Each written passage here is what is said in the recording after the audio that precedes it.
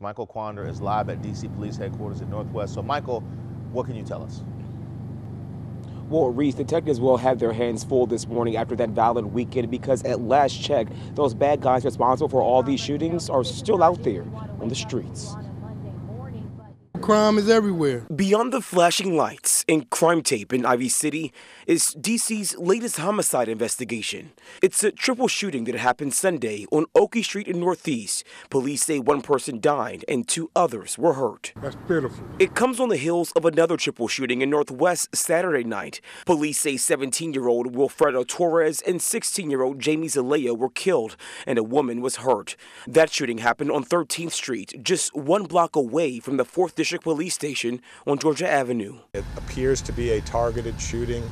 Uh, we do not have a motive at this time. Uh, we're very uh, concerned. I know the police are going to be aggressively investigating. In the span of just 11 hours from Saturday to Sunday, DC police say eight people were shot in six different shootings across the city. Several of those shootings happened within minutes of each other. Wow, this is this is it's just too much. People we spoke with called the crime ridiculous and say they want something done about it right away. You know, it's it's it's going on. It's everywhere. It's all over DC. You know, what can we do? Yeah, this is all happening far too often, according to those people we talked to. Now, we did some digging and found out that there have been a total of 26 homicides so far this year. That's compared to 22 killings at this same time last year.